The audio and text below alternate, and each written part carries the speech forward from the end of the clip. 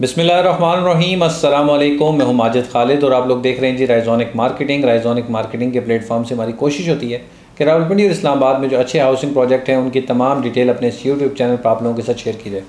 फैसट town phase two के हवाले से आज की वीडियो में आपके साथ कुछ चीज़ें शेयर करेंगे।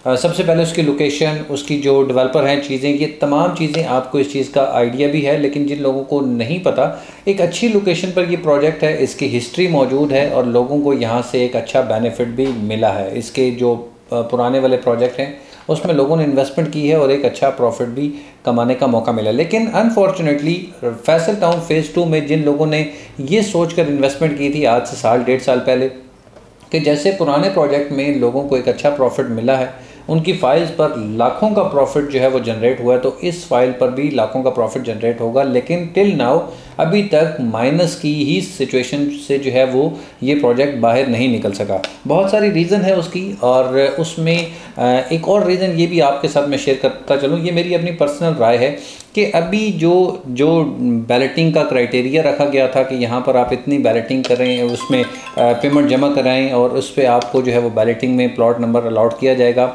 उस पर कुछ डिस्काउंट ऑफ़र रखी गई थी क्योंकि एक बड़ी अमाउंट है और जो आप कह लें कि जो रावलपिंडी इस्लामाबाद में 80 परसेंट नाइन्टी परसेंट प्रोजेक्ट काम कर रहे हैं वो अपने क्लाइंट को एंड यूज़र को कुछ ना कुछ बेनिफिट्स देते हैं और उनके अगेंस्ट उनसे पेमेंट जो है रिसीव की जाती है। लेकिन फैसल टाउन फ़ेज़ टू ने जो है वो जब बैलेटिंग की डेट अनाउंस कर दी, उसके बाद कुछ दिन तक डिस्काउंट ऑफ़र रखी और उसके बाद तमाम की तमाम डिस्काउंट ऑफ़र जो है वो क्लोज़ कर दी गई।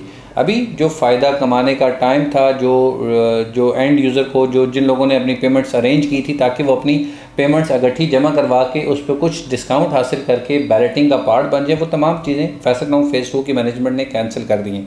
अभी आपके पास टाइम है, आप अपनी अगर कैश में पेमेंट जमा करवाना चाहते हैं और बैलेटिंग का पार्ट बनना चाहते हैं तो वो अभी तक ऑप्शन है। लेकिन अगर उस पर आपको डिस्काउंट हासिल करना चाहते हैं तो वो डिस्काउंट ऑफ़र अभी तक के लिए वैलिड नहीं है।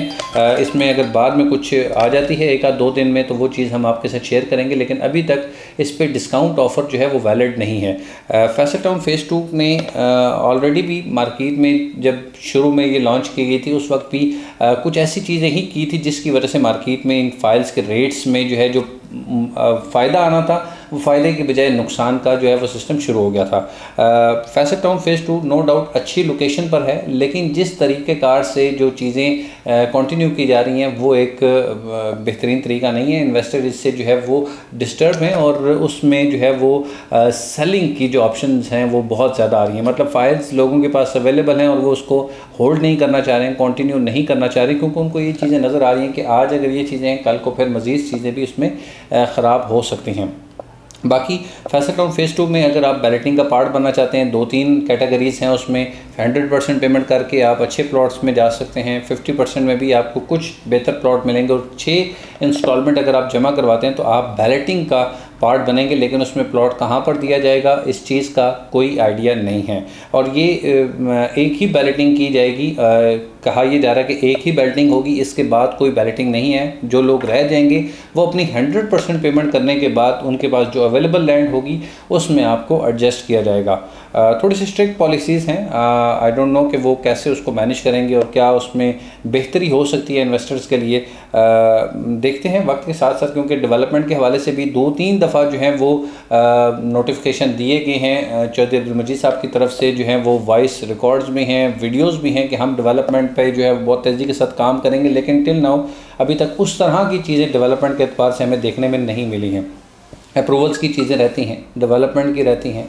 बैलेटिंग अभी हो रही है और एक आप कह सकते हैं कि काफ़ी सारी अमाउंट आप तेरह चौदह लाख रुपया एटलीस्ट जो है, वो जो मिनिमम बैलेटिंग क्राइटेरिया है, वो आपने पेड कर लिया है। और इस तरह के बहुत सारे ऐसे मेंबर भी हैं जिनने, जिन्होंने हंड्रेड परसेंट अपनी पेमेंट अदा कर दी है। तो एक हैवी अमाउंट जो है फैसल टाउन मैनेजमेंट के पास आ चुकी है। तो आप बहुत सारी चीज़ें जो हैं, वो क्लाइंट के फेवर की भी होनी चाहिए। आपकी अपनी फेवर की तो बहुत सारी चीज़ें हो गई हैं, लेकिन क्लाइंट के फेवर की भी चीज़ें होनी चाहिए।